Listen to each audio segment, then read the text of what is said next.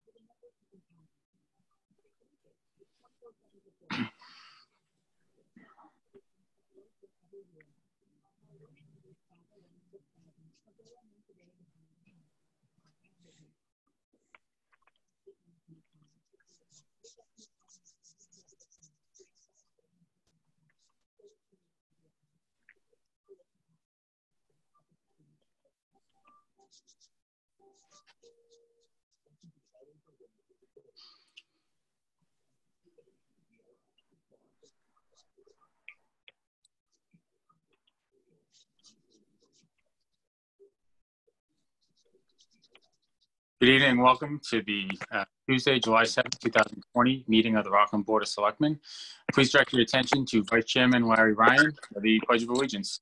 Mr. Ryan? Uh, yeah. I pledge allegiance to the flag of the United States of America and to the republic for which it stands, one nation under God, indivisible, with liberty, justice for all. Thank you, Larry. Please be advised that this open meeting is being broadcast live and recorded by WRPS for playback on Comcast Channel 14 and Verizon Channel 31. It will be available for online video on demand viewing at WRPS.com, WRPSRockland.com within 24 hours of its conclusion, as are other recently recorded meeting and community events. Please go to WRPSRockland.com for further information. Okay, uh, first on the agenda tonight is the reorganization of the Board of Selectmen. Um, I think we'll start with the uh, chairman position, and I will uh, open up to comments from the, uh, the other members of the Board of Selectmen. I'd like to make some comments. By all means. All right. Um, so we have, uh, for this past year, I, I think this board has functioned uh, very, very well. Um, we uh, we came off um, from from just over a year ago uh, with Larry Ryan in place during a really um, you know uh, a crazy time. You know, he he brought us through um, all kinds of issues. And last year at this time, uh, we made the change and, and, had Mike move into the role as as chair and Larry and vice chair, uh, and we didn't miss a beat. Um, and, and, honestly, I think, Mike, honestly, with your um, your organization, uh, how you are involved um, day to day in this town, uh, I I think, um, while against what I said when I ran, that I didn't believe that a chairman should stay more than one year. Uh, I'm going back on what I said because uh, I, I, truly believe with the job that Mike has done, I, I don't think, and, and, this isn't against anyone else on the board, and, and, including myself, I don't think there's anyone on the board who could do a better job for the town of Rockland than Michael Laughlin. Thank you, Rich. And, and um, Mike Mullen, I saw that you unmuted your phone, so I'm sure you have a comment. Yeah, no, thank you. At first, I was actually going to nominate Ali, actually myself, uh, for the position. Uh, but after hearing uh, what Rich said, um, I, like I wholeheartedly agree. I, I, you know, Mike. I mean, what all, you have done, the leadership you've brought, oh, you know, and followed Larry with as our chairman. Uh, you know, oh, you know, we've all seen how you have worked hand in hand with Doug.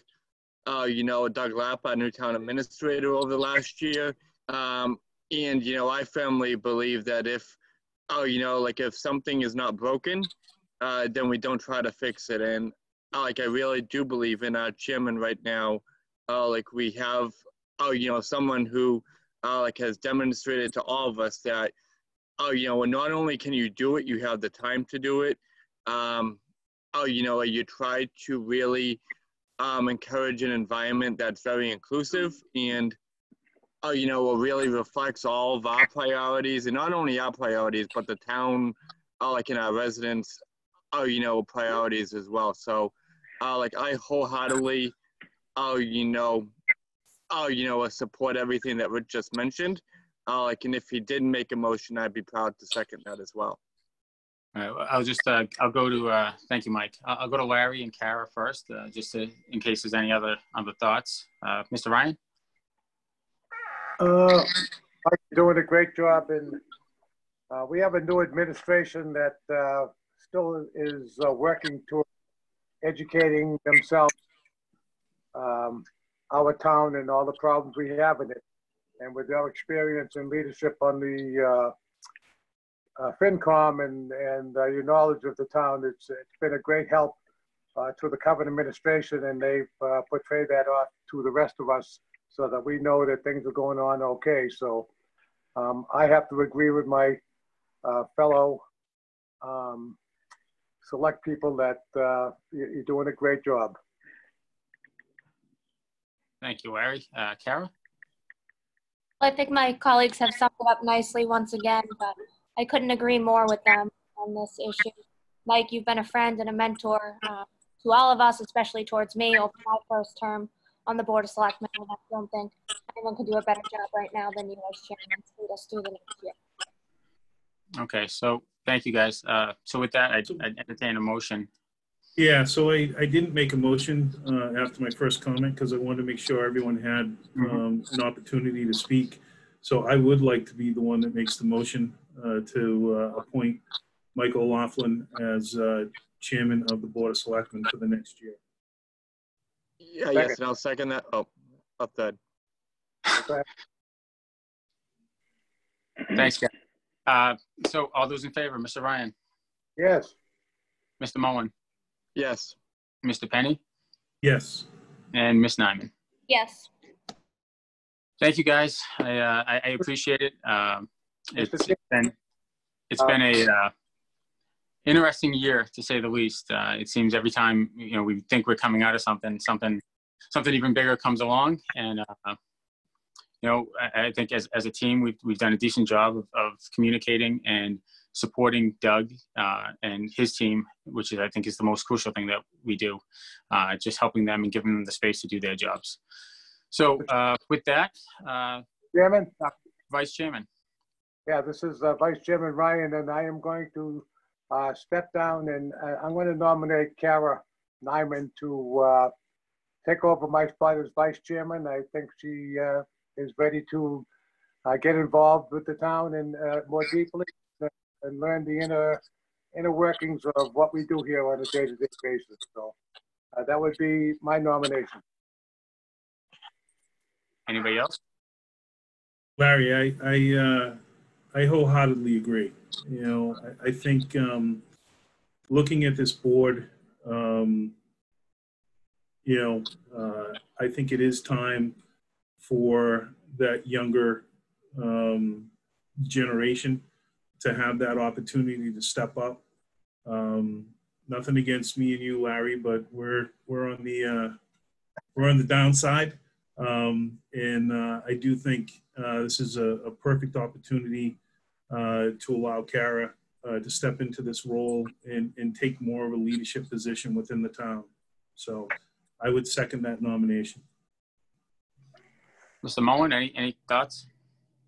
Yeah, no, I agree wholeheartedly. I mean, again, I was hoping someone would nominate, oh, actually me, uh, but, oh, you know, oh, you know, not having that been the case, um, I wholeheartedly support everything that Rich, Alec, and Larry have mentioned. And, oh, you know, I, like, I would be extremely proud, oh, you know, to have, oh, you know, with Kara and you leading us forward. So, Alec, I wholeheartedly support that, Mr. Chairman. Okay, I, I agree. I agree with what everybody else said. You know, Kara, you've uh, you've certainly stepped up uh, in the year and a half or 18 months you've been on the board. Uh, it hasn't been easy, and it's been trial by fire. Uh, you know, like I said, it, it's been a really crazy you know year and a half, and uh, you know, I, I look forward to, to seeing you grow in the role as vice chairman. And and my hope is to continue to work with you and, and have you possibly in the seat at, uh, next year this time. So I'll entertain, uh, so I have a motion and a second. All those in favor? Mr. Ryan, Yes, Mr. Penny, Yes, Mr. Mullen, Yes. and myself is a yes. Kara, will you accept it? I will. Okay, excellent. Great. Okay, Sure. moving on. Uh, community announcements, healthcare worker of the week. Mr. Lapp. Thank you, everyone. Um, Pleased to announce uh, the latest Healthcare Worker of the Week. I'm going to read her statement. Uh, Her name is Betsy Wiley. She said, "I've lived in Rockland for the last 18 years. I've worked in an inpatient cardiac care unit at Boston Medical Center as a staff nurse for the past 20 years. I also work part-time at VinFen, caring for developmentally delayed adults in a rehabilitation setting for 12 years. I earned my bachelor's of, bachelor's of science in nursing from Northeastern University. This community has been amazingly supportive to me and my family while I took care of COVID-19 patients. I love being a nurse. Thank you to the town of Rockland. This is why I, I love living here and the people who live in it. So I want to thank her and congratulate her, and uh, we appreciate everything that she's doing. That's the only announcement that I have tonight. Okay, excellent. Uh, Bear with me one second, my agenda closed. Okay, open session minutes uh, for June 16, 2020. I'll entertain a motion. I'll make a motion to approve. Okay, I got a motion. Do I have a second? Second, All those in favor, Mr. Ryan? Oh, actually, Ms. Nyman. Yes. Mr. Ryan, Yes. Mr. Mullen, Yes. and Mr. Penny, Yes. and myself.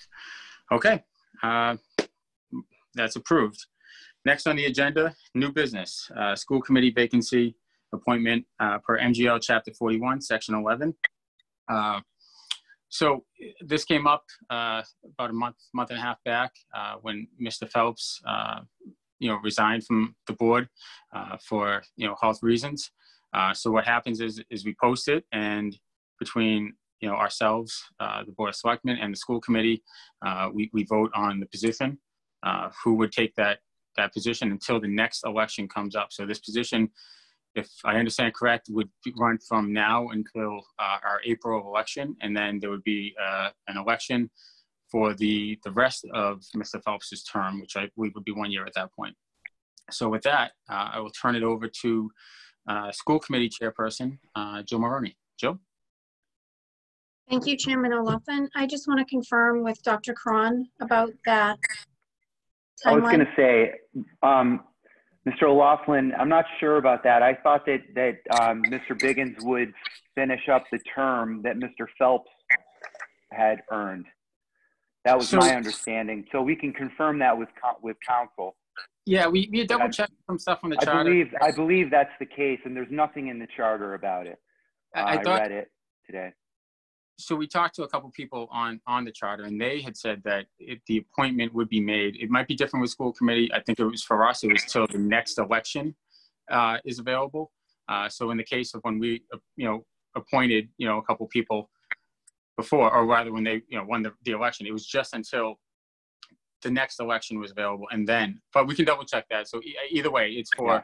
for dick's campaign you know dick's seat until you know we figure out if it's April or if it's further than that. But we can get Yeah. clarification on that. But that won't change what, what any, any kind of discussion or uh, movement forward for tonight. So. So Okay, Jill, thank you. I just wanted to be clear before we move forward, that we all understood, that we're not sure. Um, Thank you again. I want to just say thank you to um, the two that put themselves in for appointment, Mr. Biggins and um, Mrs. Forrester. Um, These are big shoes to fill. Mr. Phelps was huge for here, for us here on the school committee and in Rockland itself. Um, And like we've said, this year has been a topsy-turvy year. Um, so to put yourself up into this and volunteering for this um, is big to me, and I appreciate them um, trying to jump in. And um, so that's kind of all I have to say. Thank you for jumping in. I'll pass it back to you, Mr. O'Loughlin.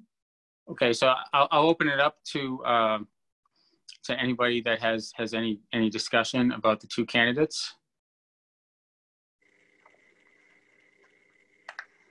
Do we have the two candidates available?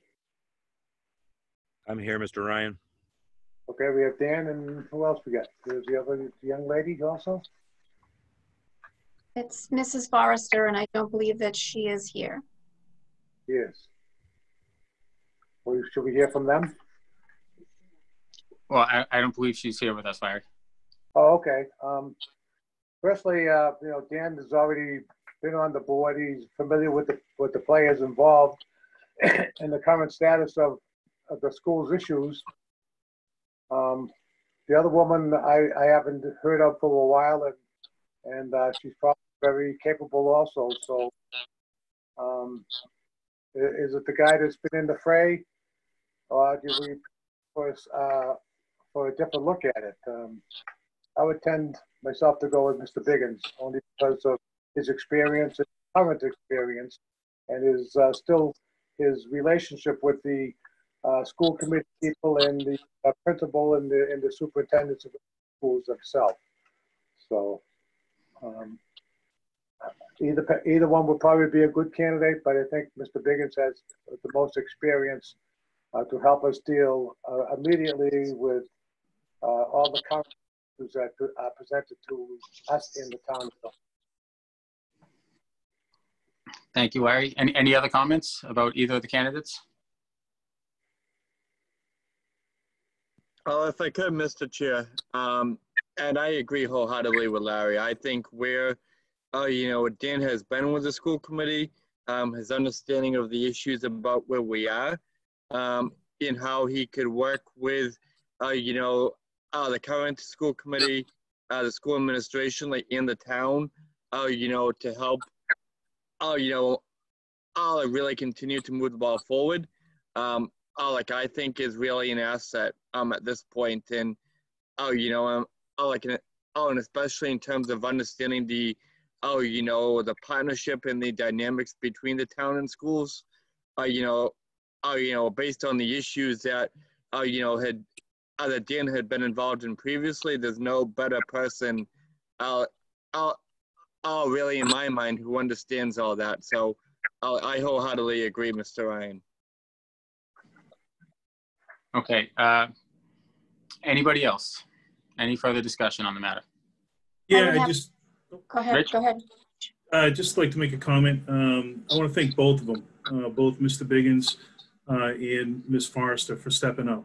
Um, As it was mentioned, um, filling the shoes of, you know, virtually a town legend in Dick Phelps uh, is, is not an easy task. Um, I do think, uh, fortunately, I, I know both individuals, uh, one of which I literally have known my entire life. And I think both of them um, are are volunteering to step up for the right reasons. Uh, that they they care about the town, they care about the children of the town, and I don't think we could go wrong in, in either selection. Uh, but to Larry and, and Mike's point, um, Dan has um, he is he has the experience. He he has shown in the past uh, what he has done uh, for the um, for the school system. Uh, so I, I would have no problem at all um, uh, with with Dan in that position. But I did want to say thank you to to Miss Forrester for for volunteering and willing to step up. Okay, any, any further comments before we, uh, before I call for a motion? Mr. Chairman? Yep. Uh, Can I make a few comments? Absolutely. I also want to thank Mrs. Forrester for stepping up and, you know, applying to be appointed to this position. As a board, um, I think we're always encouraging new people and new faces to, you know, step up and be involved on boards and committees in town. So I want to thank her for coming forward. But I also have to agree with the board on this. Um, Dan has been a great asset to the school committee over the years and to our community, and I wholeheartedly support him for this position. Okay, so we've heard from the selectmen. Any comments from any of the members of the school committee on the issue? Seeing as it will be a committee member of, of yours. I would, but if someone else, Emily or Jamie? Yeah, I would just like to thank Dan. Um, I think going with him and him coming back into the school committee is a great option. Um, he has the experience, he has the voice of reason that a lot of people in town listen to and look up to, um, especially with the school um, kind of in an unknown of going back in the fall, just with COVID. I think um, all together, the five of us are going to work very well together, and I'm looking forward to it. Thank you. Jill?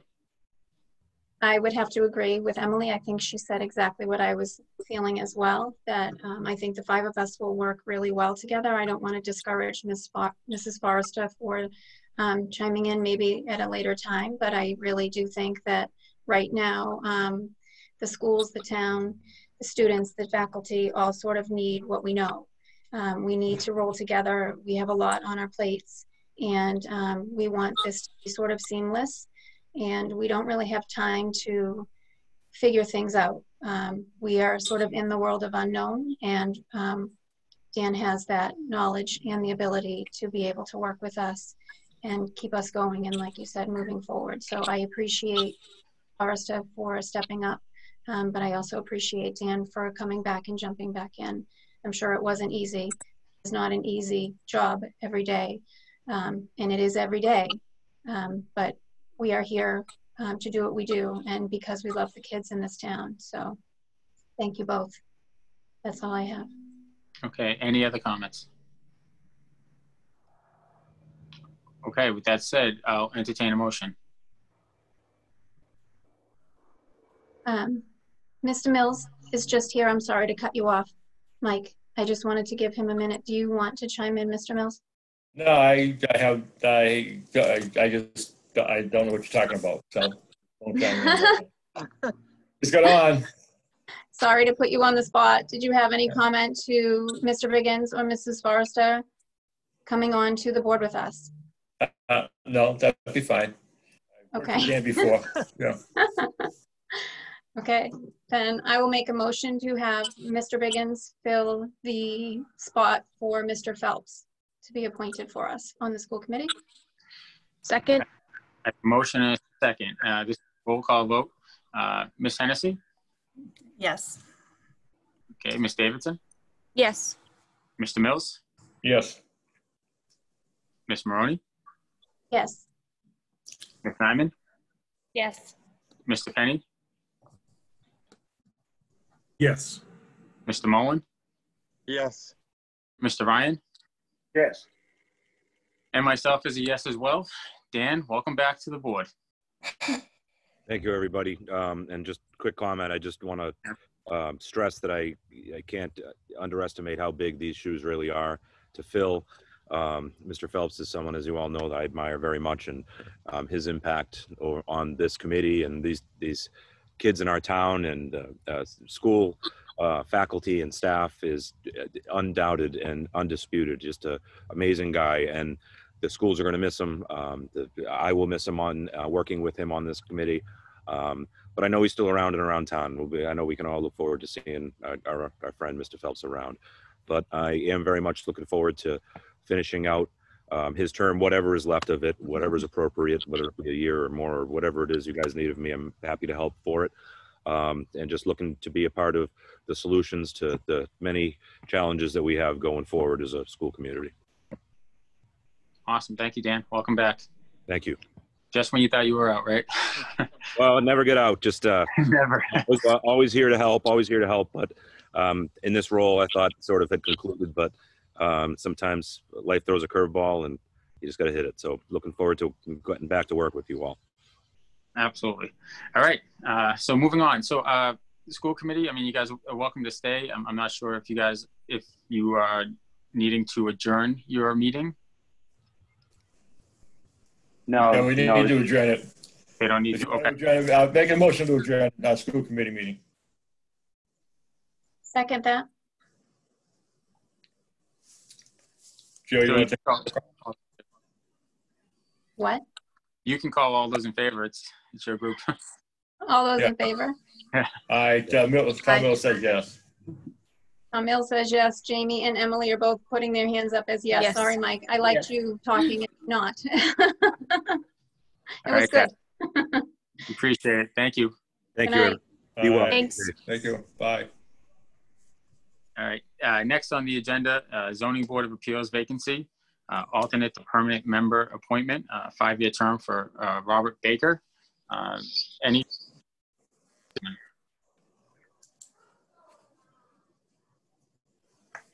Um, may I? Yeah, absolutely, Ryan. Um, I'm against, uh, appointing Mr. Baker to a five-year term. Um, I just don't think he fits the bill right now for what we need as a town. That's all I'm gonna say. Okay. Uh, Anybody else have any comments? Yeah, yeah. I just have a quick question. I mean, in terms of advertising, oh, you know, the, uh, what I assume is a vacant, is a vacant, oh, regular mem, a regular member position. Oh, you know, should we first try to advertise it or, um, is there something different about this? Uh, like where we have a time is of the essence issue? Well, you know, I don't think we have a time of the essence issue. I, I think it's one of those things that, uh, that there's an opening for a permanent member. But my my bigger concern is that there are. I think Mr. Baker is the last of the alternates, so it, it pretty much defaults to him. So I don't think I don't think there's any rush to fill the seat. He can vote as an alternate uh, until we get more alternates and, and maybe deepen that pool to pick from to assign somebody for a five year position. Um, I mean, Tom, Tom, you you work uh, Mr. Rubel, you work with the, the zoning board uh, more than the rest of us. Mr. Baker is currently the only alternate on the board, right? You're muted, Tom. That's right. Okay, so, you know, I mean, we, we'd pretty much be handing over uh, a position uh, by default. Mhm. So I, I think maybe, uh, Mike, if, if I hear what you're saying is, uh, I guess maybe table it until we appoint, we advertise that we're looking for, for other members on, on the board, uh, fill some of the alternate positions, and then, then come back with it and take a look at, at who is uh, looking to apply for that permanent position. Mike, I agree. So, you know, not that long ago, we had a, a similar scenario with the, uh, with the zoning board. Um, and we, I think we did a very good job of, of posting it, getting the information out. If I remember right, we ended up probably with about five or six candidates and, and I'm gonna be honest, um, what we were able to put on the zoning board, um, was, was a pretty high level, uh, you know, few people that went on there. Um, I, I think that there are a lot of people in town with skill sets to do this. I just think at time, at times, people are either unaware uh, or we don't do a good job of getting that information out to the right people. Um, so I would, you know, I, I- would look to to do this, post it, um, try to make it as public as possible, talk it up on the on the uh, board of selectmen meetings, get it out there, get it out on social media, and let's see um, what we can get for some some candidates. Uh, so it isn't, you know, nothing against Bobby Baker, but so it's not just a default because no one else applied for it. Yeah, and, and I think to, to that point, is there's as an alternate, you know, being that there's an empty spot, it wouldn't stop anything from any votes from happening because he would just be a voting member at that point as an alternate. So, you know, I, I think we've been really hesitant to to have our hands forced. I, I think you know we've kind of looked at that and and and said you know nobody gets a position by default, right? And, and to to your point, nothing against Bob Baker at all, nothing at all. But when somebody's presented to us as the only option, you know, it, it's. I, think I'd like to see if there's other candidates, anybody that wants to get onto the zoning board as an alternate, and then I think we're allowed to what have three alternates, Tom. Mr. Rubel, three alternates on the. What was that? How many alternates are you allowed on the zoning? I This is- believe this there's is- two. But there's two because we lost a couple of members that are But I already think pushed you're out. allowed. I think you're allowed up to what three alternates total. Yes. Yes. Okay. So I, I think we look to fill those positions and then and then take a look and and uh, you know get, touch base with the zoning chair and and go from there. So, um, from I, I guess what I'm hearing is Make a motion that we put it off till the September, uh, first meeting in September and advertise between now and then because there is no, uh, big hurry. We have a full board that can function with the, with the four members and the, and the alternate. So I'd like to Yeah, put, I'd second that. all right. I, I have a motion and a second. Ms. Nyman, Yes. Mr. Ryan, yes, Mr. Mullen, Yes, sorry. and Mr. Penn. Yes. And myself. All right, so, so that's a vote to table the appointment to the zoning board of appeals uh, until first meeting in September. Uh, Doug, you good with that? Advertising, advertising position? I think, I think there's a need for, for two positions because I, I don't think we have any more alternates. So it'd actually be a need for three positions. Uh, One of them would be going to the permanent member and three alternates, so. Yeah, that, that's totally fine. I'll work with the chairman of the ZBA, make sure we have the number correctly, and we'll do some extensive advertising. Sounds great. Thank you, Doug. All right, uh, moving on. Uh, FY twenty year-end transfers. Mr. Lapp. You know, I'm just going to hand this one right off to our town accountant, and uh, Biz can take care of this one. Sounds great.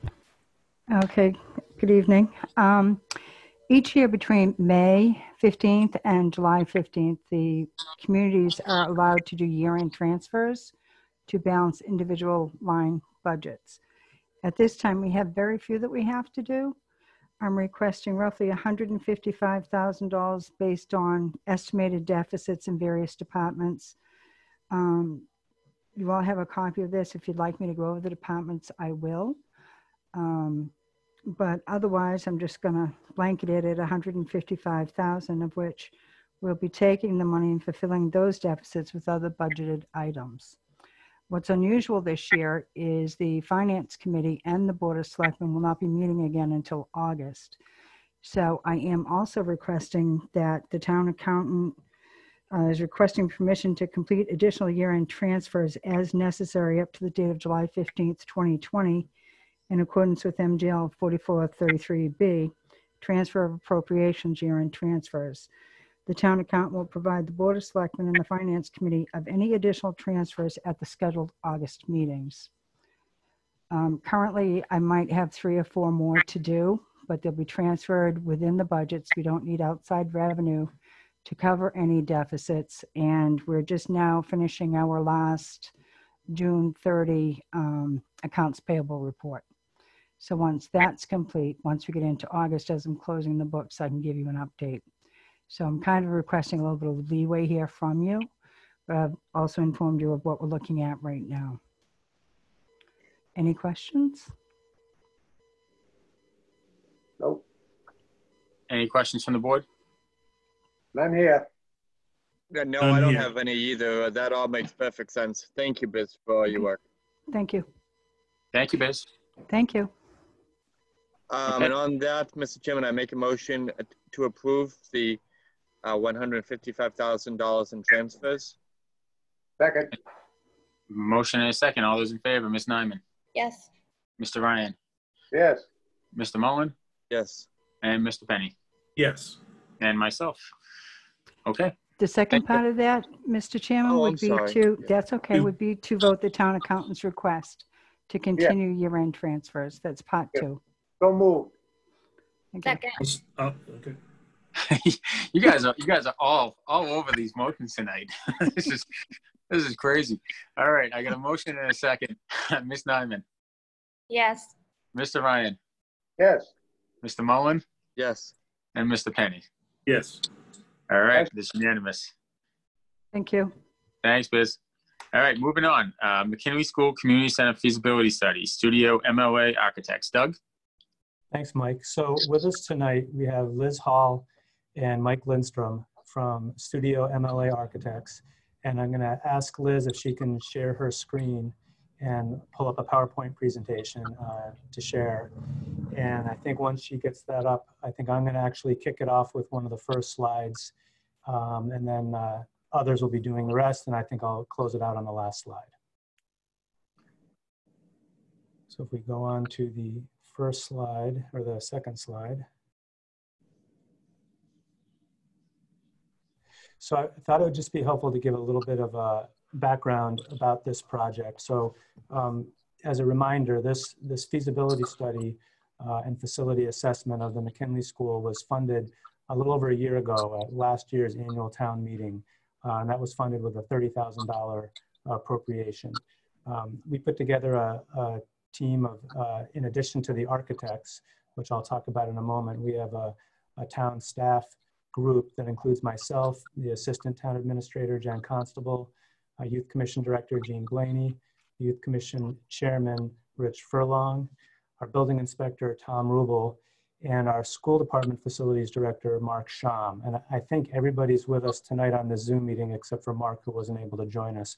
But I want to thank all the staff that um, helped with this because it was a really good team effort and everybody kind of came at it from their own angle with their own insights and, and um, pieces of knowledge that I think helped the architects frame a really good a really good study. The, the other thing I wanted to highlight about this firm, Studio MLA, is they're really excellent. They're highly qualified, and we we selected them through the competitive request for qualifications process, which is part of the state's designer selections law. So we we followed that process, and as part of it, uh, we did include language that if the town ultimately decides to actually fund this project, we can continue with Studio MLA without having to do a whole nother RFQ again. Um, but you'll see as they go through this um, presentation that they're very experienced and very knowledgeable, and I, I, think you'll get a lot out of it. So with that, I'll I think Jean Blaney is going to do the next slide um, before we go into the others. Thanks, Doug. Um, so as most everybody knows on this board that we host um, several different programs in the community center. Um, first being the Rockland Youth Commission. We've been, been there for, actually, I don't even know how long because Karen was there before me, but I've been there for six years um, in this space, and it is definitely a great space to have. Um, and I feel very lucky um, to have it. We also have Rockland Daycare. Um, they are a very large part of this building. Um, they take up two floors, um, or really one and a half. And, um, and then we also have the Historical Commission. They have a room on the third, or they had a room on the third floor. Um, and then the other programs that we have is self-help. so self-help offers free programming from for children, infants to six years or just entering kindergarten. Um, we have a lot of folks that can't afford our preschool programs and um, rely on self-help for development of their children. Um, we have the WIC program. Um, WIC is, I want to say it's a state-funded program. I'm not 100% positive on that, but I'm, I'm pretty sure. And um, they're a big part of our, they're, they're in our building every Wednesday, and um, it is a flow of traffic from the young women and um, men in Rockland that need their services. So they provide subsidy sub, subsidy servants. Sub, I can't even talk. I'm really sorry. It's been a very long day. Subsidized services such as um, they give them um, formula, diapers, and then point kind of give them direction on where to find other subsidy programs. Um, the Girl Scouts meet. Wow, I think we have five Girl Scout groups that actually meet at our facility, um, and we do. I think we do a really good job of managing them and rotating them through the building. Um, they utilize it for not only their meetings but their functions. Um, Boy Scouts actually meet probably once a month. We have um, a couple of troops that come and use our facility, mostly the gym and the community um, community room. And then we have other communities, other other people within the community that uh, meet at our building on sometimes a regular basis. Sometimes it's just once a month. Um, but you know, we we we have a pretty good impact on our community. Um, I neglected to say for the youth commission, we have all of our youth and sports programs as well as our tot enrichment program, which is our pre- preschool program that we've been running. I think I want to say it's been since the 70s. Um, in addition to that, our teen center program, which everybody knows and loves um, and has grown over the past couple of years. They actually are in the gym and in part of the basement area. I think that about does it. Thanks, Jean. Um, hi, everybody. My name is Liz Hall. I'm an architectural designer at Studio MLA. Also on this call is our principal, Mike Lindstrom, and I believe our landscape director is also on the line, Joanne Hiramura. Um, I'm just gonna get right into it. If you hear any strange noises like fireworks or the road, that is because I'm on a main drag. So, our mission to improve in like big picture. Um, the quality, obviously the quality and, and of the interior and exterior spaces, meaning updating everything from finishes to systems to the facade. Um, and then by doing that and changing um, the floor plans a little bit, and by doing that, we would improve the quality and the quantity possibly of the programs served. So there's a lot of inefficient spaces. Um, there's a lot of storage that we could probably move around and, and gain some extra space and um, really improve the quality for the, for the patrons. Then another big one is the accessibility and the safety of the building. So, you know, for example, right now, the elevator malfunctions, it's too small. Um, we've got some accessibility, but not all spaces are accessible, um, meaning uh, handicapped accessible. Um, and some exterior spaces, um, pedestrian travel are a little confusing, that, so that could improve the safety of the building. Um, then the building itself is on the National Historical Register. So we would want to maintain that. It's just starting to, to fall um, into some need of repair. And uh, it would be good to upgrade those to maintain that landmark. And then as I understand it, there's a big um, revival on Union Street. And I think both the visual of the building and then the proposed exterior improvements um, would be a catalyst in that revival um, to really improve the, the streetscape and the view from the street. So I just jump in for a second, Liz, and say that I think we found really a remarkable community. Um, all of the You're breaking up a little. a lot of the, the challenges. There's a lot of work to do here. So I think you know that's the bigger. Um, I think the, the whole Rockland team has been really great to work with, and they they've taken a really common sense you know attitude toward this, but as was an approach that would really really fix everything, right? So that's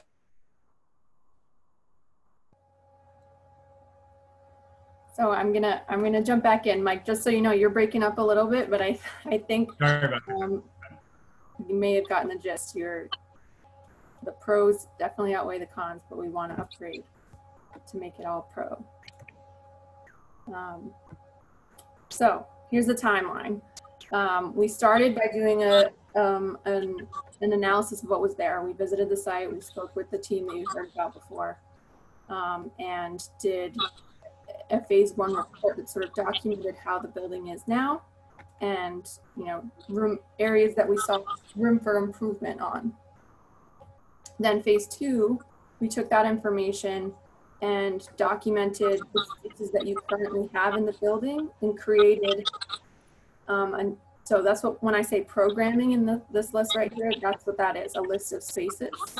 And so then we created three new programs with the help of the team for the ideal for the ideal concept um, options. And then with those spaces, meaning square footages and stuff, we went forward and made three floor plan options for each floor. Um, and for the landscape, we did two options. Um, and then with those, we could get preliminary pricing.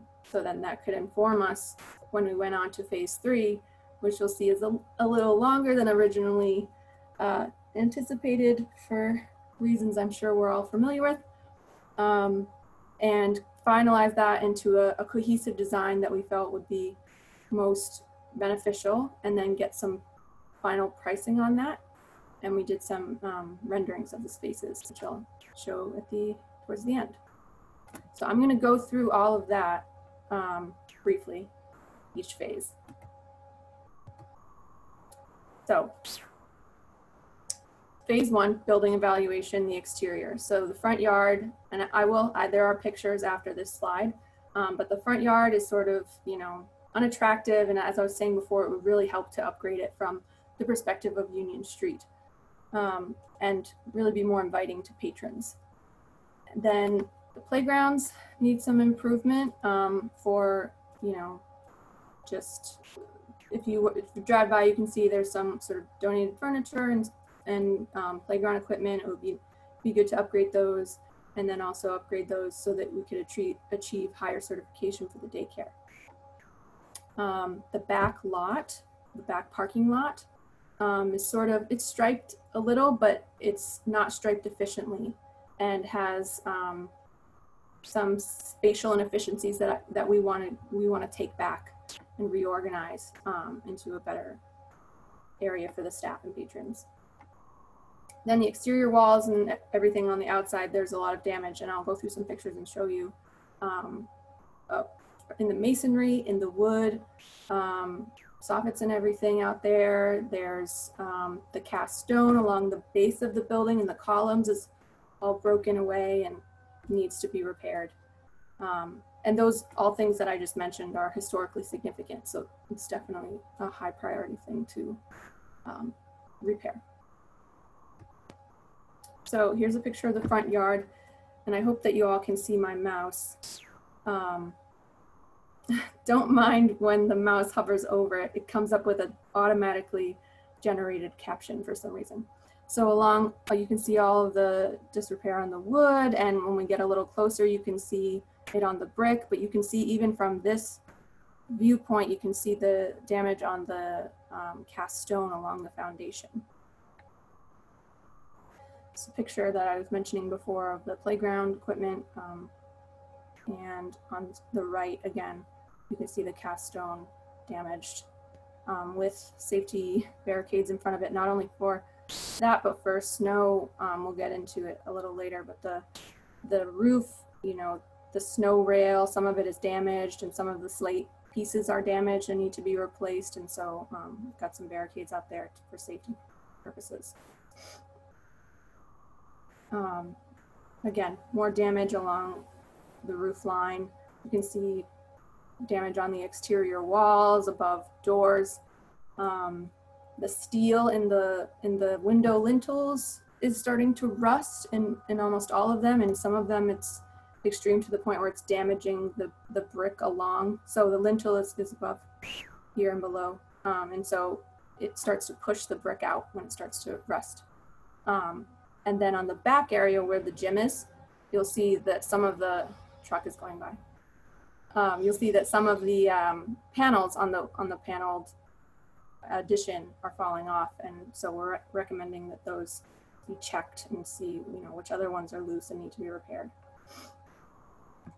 And those, that was not a comprehensive list. I'll just say that. We have an entire report that has the comprehensive list of things that need to be repaired.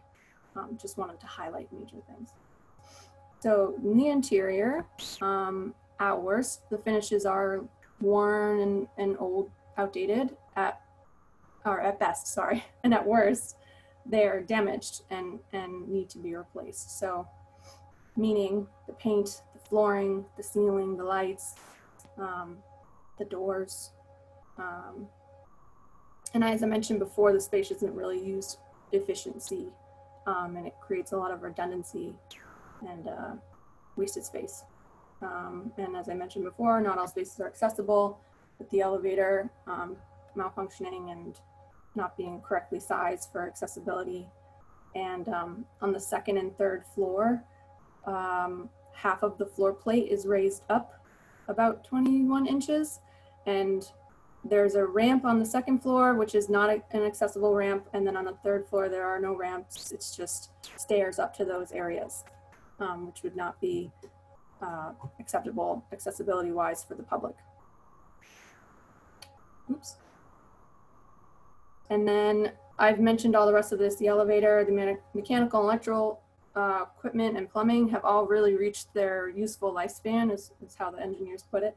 Um, and the mechanical needs to be fully replaced. The plumbing, there are certain things that need to be um, replaced and, and same with electrical. There's a lot, a lot of systems work that needs to happen before um, the pretty finishes can, can really do their work properly. And then um, along those lines, the sprinkler system right now, I believe, I believe Doug, it, it got, it's officially a go, but right now basement through the second floor are sprinklered and there's a project intended already in the works to get the third floor sprinkled. So here's some just pictures of the interior. This is the teen center downstairs. It it functions, but it's it sort of feels like you're in a space that you're you're making use of. You know, it's not really for them. It feels a little alien. Um, they've done a really great job of creating posters and, and making it feel homey, but I feel like we could do a lot better for them. Then the gym is um, the flooring really needs to be replaced and the lighting and the walls, you know, if you painted them, it would be one thing, but really repairing them and painting them would be best. Um, and here's some pictures of the inefficiencies, inefficiencies that I've been talking about. Um, there used to be a kitchen down here when it was school and it's not used anymore, but it's just sort of got all this extra equipment and this big HVAC exhaust unit and, and just kind of is used for storage and, and isn't used efficiently. Same with um, some decommissioned bathrooms in the basement. Um, and they're being used for storage right now with the toilets and everything still there. Um, and I wanted to get some pictures of the systems that need to be replacing. Um, for example, you know, all this exposed piping typically by code needs to be insulated and is not currently. Um, and obviously general you can see that things are in disrepair on the walls and everything. This is in the basement. Then the classrooms on the second floor and third floor. Um, third floor is empty, but everything just, you can see the flooring really needs to be replaced. The, the ceiling is very of dirty and the lights are old and um, the daycares themselves need to be upgraded um, if they're gonna um, go for certain licensing, EEC licensing, um, with things like food preps and changing stations. Um, we'll get into that. Then there are certain areas like this picture where there's a lot of water damage above the ceiling causing mold, um, which is, I don't need to tell you, is bad. So the general layout, I won't, you know, point every, every, every room, but the basement is where the teen center is and the gym where my pointer is. And then there's like a lot of storage and systems around this sort of perimeter area. And um, space was down here. Uh, then the first floor where you enter, where my mouse is, is where you enter the building with the big stair. Um, that's where the uh, administrative areas are um, to the left and right when you walk in and to the back of where, where you walk in are the two community rooms that are separated by a movable partition. And then this room in the corner is a, a multi-purpose room it's used for the self-help uh, program and the bottom two rooms are daycare. Second floor is all daycare um, with a sort of a, a, room to spare um, that we utilize in the future plans. And then, like I said, the third floor is abandoned but um, historical commission uses it for storage and meetings sometimes. So phase two, that was a lot. Um, phase two is when we generated three options. So these were hypothetical options and I'm gonna go through them rel relatively quickly because phase three is where we bring it all together and, and decide you know, what's best. So option one option or the dreaming option um, where we completely reconfigured the basement. We kept the teen center down there, but we found a lot of space where we could, like that abandoned kitchen, where we could expand and create recreational facilities for young adults. One of the things that we identified as a group was something in Rockland that could be used is recreation facilities, meaning like a gym situation. Um, and those abandoned bathrooms would serve really well as locker rooms and bathrooms. already got the you know plumbing sort of set up and could be expanded into um, bigger, more useful things.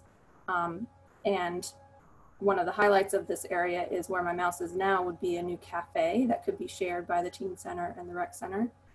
And you would be able to enter not in the main entrance, but on the side entrance where a lot of people enter through to get to the gym. Um, you'd enter through this cafe area and that would be how you would access the teen center primarily um, and the recreation area. So you wouldn't have to wander through the building to get to these sort of public zones. Um, then also on the on the basement level, we considered and we got pricing for replacing and the gym entirely because right now it is not a, um, a regulation sized gym.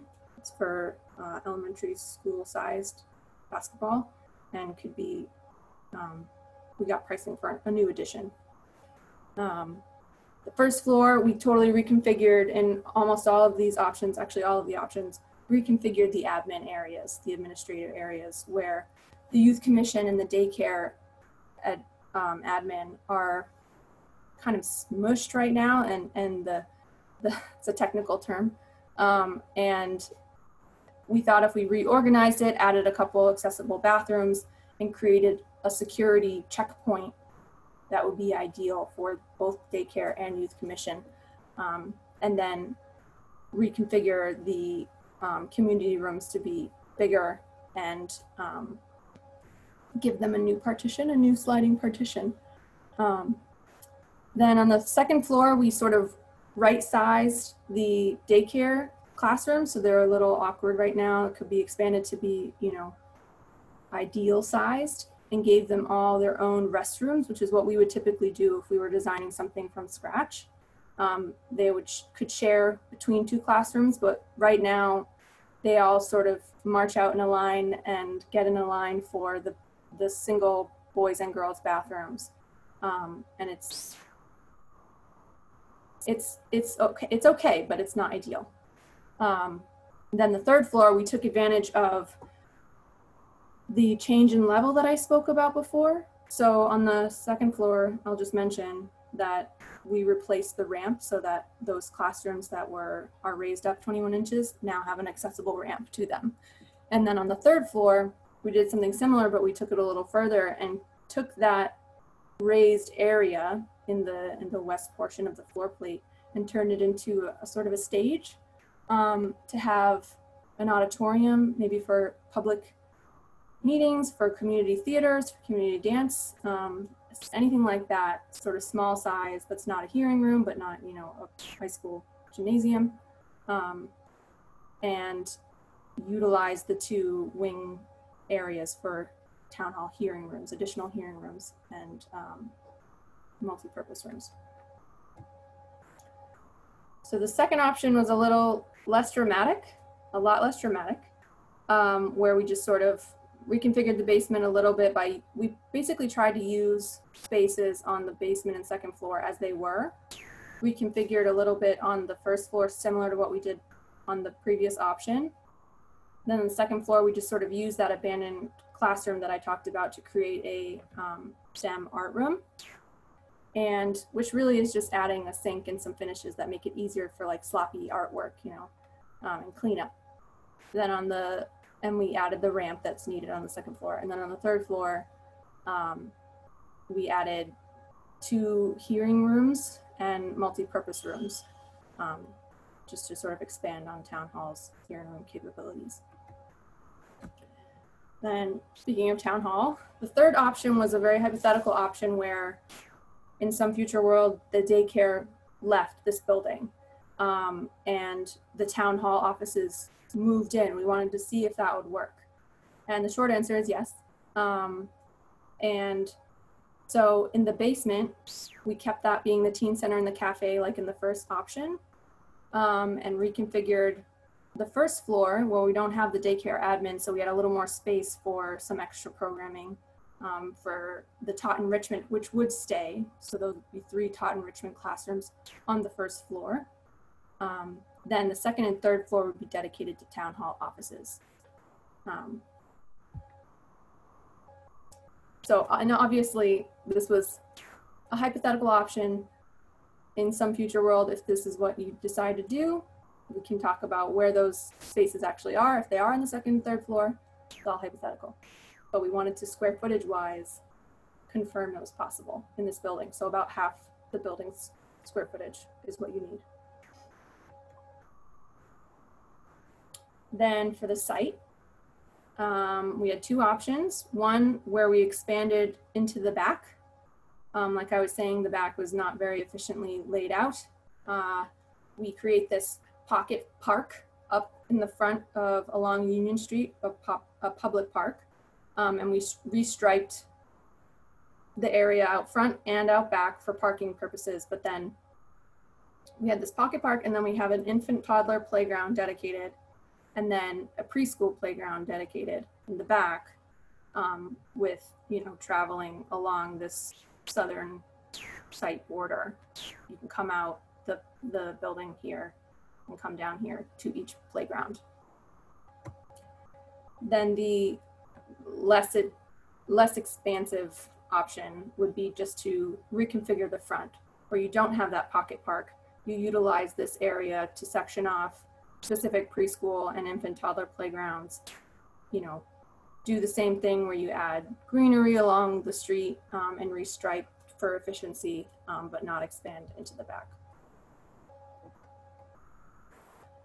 And included in all of these options, like I was saying before, finish upgrades, paint, ceilings, lights, flooring, um, doors, um, the exterior repairs that I talked about, repointing a lot of the building um, needs to be repointed. Um, sealing, repairing and sealing all the wood features, you know, so that more water infiltration doesn't get in and start or continue rot. Um, and uh, the, that I was talking about, the mechanical and electrical, all the upgrades, mechanical needs to be fully replaced. Electrical um, needs to be resized to handle current needs, current code needs.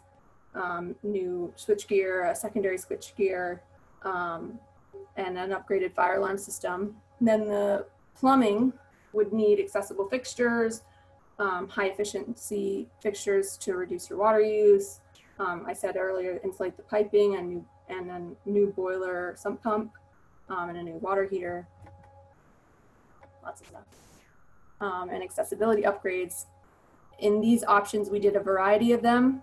Once we got our pricing back, uh, we realized that there's a certain rule that I, I won't go too far down the road is, but when we got our pricing back, we realized that the price of the construction that's needed for this exceeds a limit that will make us have to upgrade the whole facility to um, to be ADA compliant, um, mass accessibility compliant, which means we would have to upgrade the elevator and the shaft because the elevator itself and the shaft don't comply um, currently and we'd have to do a bunch of other little things, you know, to um, upgrade the accessibility of the building. And then um, in each classroom, we sort of listed out for the estimator the various things we need to include in the classrooms themselves to become EEC um, licensed. Now the fun part, I'm sure you're already having fun. So the synthesized design. Um, in the basement, similar to the big option, almost the same actually, is the cafe. You come in from the side door. We've got these movable partitions so that you can open up the cafe to the recreation and teen area. We've got big barn doors um, between two teen areas and a stage for them to do karaoke, which is apparently big right now. Um, and basically trying to make the, the area as flexible as possible while also sort of sectioning off a very dedicated fitness area that can then access these locker rooms, um, you know, privately. And then the gymnasium, and I talked about a potential optional addition to this gymnasium or knocking down the current one and, and creating a bigger one. So this is a rendering of that area. So actually I'll go back you're standing about right here where this door is. So um, the movable partition is open. So you're looking into the cafe. You can see the cafe and you know, seating over here. They, have, they already have a ping pong table that we can reuse. And the, the barn doors that I was talking about and the kids doing the karaoke on the um, stage in the other room. And new finishes like I talked about, LVT, new new ceilings, new lights, just really freshening up the space um, and making it more of a home, more of a community center. So the first floor, similar almost exactly to the, to the big option, is reconfiguring the first floor. We put the daycare staff on the left and the and the youth commission staff on the right because there was more space. They have more um, they have more administrative employees and need more office space added a couple accessible restrooms for the public. So right now people have to sort of use either one in the offices, in the youth commission offices, or the children's sized ones um, outside the community room. So in the community room, we also added another movable partition and swapped the toddler and the infant room down here um, because one made more sense size wise. And you'll see in each one of these floor plans, the elevator is new and the shaft is new. In the second floor, we decided to keep the classrooms essentially the way that they are. Um, because like I said, they function and we would add things to them, furniture pieces and, and, and cabinets and stuff to make them better classrooms and then utilize that classroom that's not being used as a STEM art room and knowing that that's really just about finishes in a sink. So if it needed to be converted to the classroom in the future after growth, totally possible. Um, and the girls and boys rooms would be expanded for the required, the code required fixture counts um, and accessibility. Um, and adding, like I mentioned before, the accessible ramp up to this whole left side is the side that's raised up 21 inches-ish. Then the third floor is that cool, cool idea um, to have an, an audience and a stage so that you guys can hold potential community theater or some town business. Um, then keep this room that's already there for historical, but it can also be, you know, multi-purpose. And then have an additional hearing room down here. Um, near the elevator, we kind of went back and forth about, you know, which of these rooms could be used. It made more sense for the public if you were coming up for a hearing, take the accessible route. Um, and we improved and increased the bathrooms um, to sort of fit with the occupancy of this room, the amount of people. Um, and this is a rendering of that stage. Um, we would, part of the finishes would have some acoustic panels along the walls, um, new finishes, but movable chairs so that you can reconfigure it for whatever the, the use may be. Then lastly, the site just a little bit more rendered um, and a couple of a couple of improvements from the previous options where it's the same idea, pocket park out front, pocket park out front. Um, the infant toddler playground and the and the preschool playground, but what we added was um, access from this back parking lot up this southern uh, access to the front entry. Because right now, when they park back here, they have to sort of walk up a driveway. There's not really a, a, a room for a, a sidewalk. Um, so we want, you know, patrons in the back and staff in the back to be able to access the building safely and, and not have to deal with that. Um, now for the pricing. Um, so we got uh, final pricing on this. So the top line is sort of like the base construction. He does all of the, the construction without any additions to it. And then we have these um, optional additions, like I said before, the gymnasium. And then we were thinking potentially, I'll show back here, having a ramp somewhere around here um, to get you up to, from this park parking lot, accessibly up to this um, entry where I was talking about the cafe, the cafe entry and the gym entry. Um, so we added that as optional additions. Then there's a construction contingency added to that number, um, which is definitely needed for a building like this when there's a, we know that there are going to be a lot of surprises in an old building. When you, when you start to get into it, you're going to find a lot of Um, then we went down through the soft costs design team, meaning the architectural and the, the um, our consultants, mechanical, electrical, landscape, structural, historical. Then FF&E means furniture, fixtures, and equipment, meaning um, exactly what I said, furniture, basically everything. If you, I have a friend who says if you tip the building upside down, anything that falls out is furniture, fixtures, and equipment. Um, then an owner's project manager will be required for a public project like this. The only thing that is to be determined um, are, are potentially needing to relocate during construction um, and any moving and storage fees along with that. Then on top of that, we put a 10 10% project contingency. Similar to the construction contingency, but it's sort of like an overall things that come up, you know, especially in the stage where you're in totally conceptual world, um, you want to be safe with contingencies. Um, and that brings us at uh, 23 million about, without including those two additions.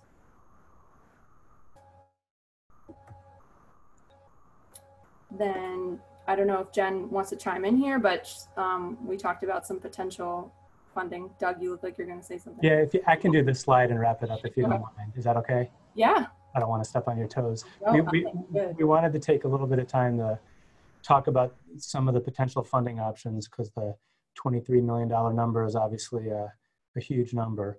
Um, and this is by no means exhaustive, but it's kind of some of the, you know, some of the biggest areas we could look toward. You know, the Towns in the Community Preservation Act, you know, unfortunately, we haven't really been in it long enough uh, to have enough to be able to fund a project of this size. Um, you are allowed under the CPA to borrow funds against future CPA receipts. So even if you don't have the cash in the bank with the CPA, you can borrow against it and pay the debt service um, with your CPA revenue coming in each, each year. Um, but we, even with that plan over 30 years, we still would not have enough to fund a project this large. I think the maximum um, that we could borrow over 30 years against CPA for a historic preservation project, the maximum would be about $6 million.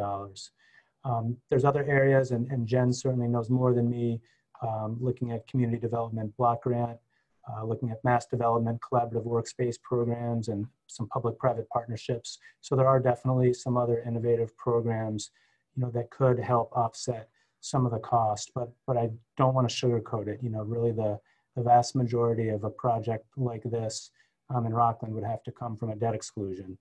Um, so that you know, after the the large elementary school project we just uh, funded, taxpayers just funded, and you know, knowing we have a fire station project also coming down the pike, you know, this is obviously going to be a big decision. And I, I just wanted to kind of wrap up by saying that we obviously do not expect any kinds of decisions tonight. We really just wanted to have the architects uh, present, you know, their thorough analysis and, and what we all collectively felt like, you know, was a, um, a good summary of the existing conditions and what some of the options could be. And then most importantly, what we think a recommended plan could be if this is something that, you know, the board wanted to um, consider pursuing. My, my personal feeling is that, you know, we obviously can't make any major decision like this tonight, but I, I would recommend that over the course of this fiscal year, we have put this on future agendas and have more discussion about it because I, I personally think by the end of this fiscal year, we should have a plan and a decision about which way the board wants to go because I, I feel like the status quo is not the best plan. You know, we're going to continue to have major plumbing breaks and roof leaks and we're going to continue to sink more funds into this building and it's and while we're spending money it's still as a whole going to continue to, to, to deteriorate so i think we should either consider you know funding pursuing you know taxpayer support to fund a, a great project like something like this or look at another option which would be to divest ourselves of this building and relocate you know the youth commission um, services and look at potentially selling the building in for whether it's senior housing or you know another um, another uh, like a sandpaper building, sort of artist studio. There's all different kinds of options out there. Those kinds of discussions I don't think we should have tonight. I really want to take advantage of the architects that are here and the other team members, all the other staff that are on on the Zoom call, and, and I'll invite any of them if they have any you know closing comments as well. But I I hope you found this helpful tonight, and we'll try to answer any questions you may have. Thank you, Doug. Uh, I just want to start by uh, thanking uh, Liz for the presentation and, and the other architects for putting this together. Uh, certainly, uh, certainly you guys were thorough. Uh, a lot of food for thought here, a lot of great amenities and, and, drastic improvements to a, a building that Jean and Rich Furlong have, Jean Blaney and Rich Furlong have done yeoman's work in maintaining over the years. but you know, to, to Doug's point, it's it's a building that we as a board need to uh, make a decision whether we invest or divest. So, with that, uh, I'll open up to the rest of the board uh, questions to the architects or any of the other people on the call right now. Uh, Ms. Nyman. I don't have any questions at this moment, but thank you, Liz, for this thorough presentation. It's really eye-opening. Mr. Ryan?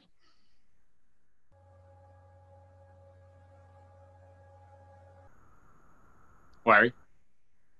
He's on mute.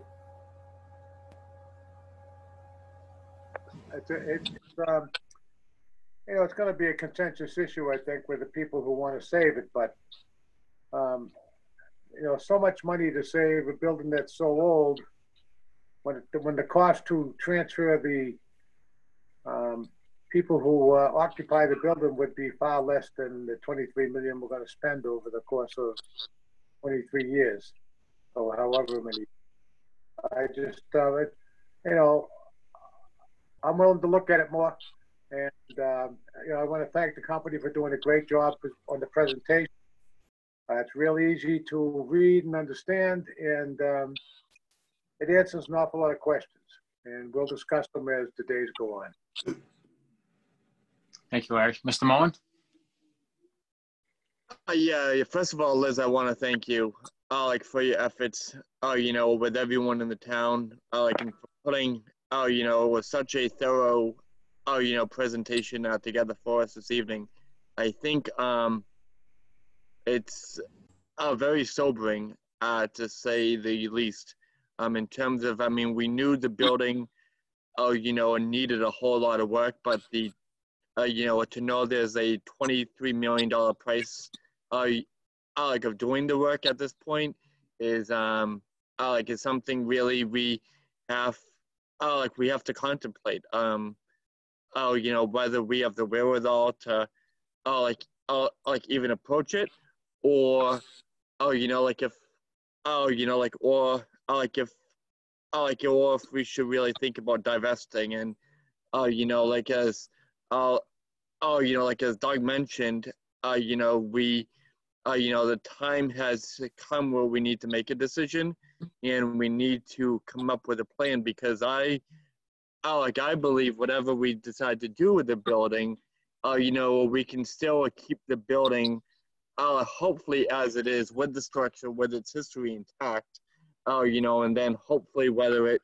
oh, you know, will become senior housing or whether it's a town building, we, oh, you know, however we move forward, we'll, oh, you know, uh, hopefully someone will, um, in some way, shape, or form, have the resources uh, to main, oh, yeah, to maintain uh, the integrity of the place. But, um, oh, you know, we're going back to what, oh, you know, what Doug said, um, oh, you know, a few moments ago. I would like to, uh, you know, if, oh, you know, if the rest of the board agrees, really, oh, you know, once we get through the summer, uh, like and know where we are dealing with the uh, the pandemic issues really before us still. Uh, you know, uh, like if we could really, oh, you know, spend some time uh, like as the board in the fall, oh, you know, really discussing this in more depth, um, and also um as well how it relates, uh, you know, to our priorities uh, that are shaping out in the master plan, um, as well, uh, you know, and whether uh, obviously, I mean, we have a a whole host of priorities as a town. Oh, you know, with oh, you know, we're investing in the schools right now.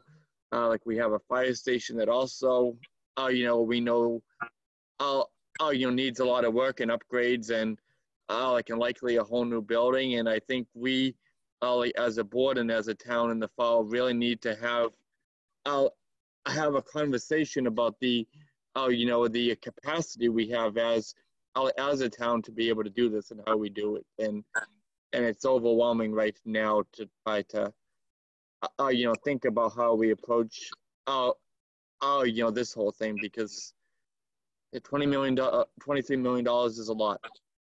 So those are just my thoughts. I don't have any specifics because I'm just trying to digest all of this as well. So, uh, thank you again, Liz.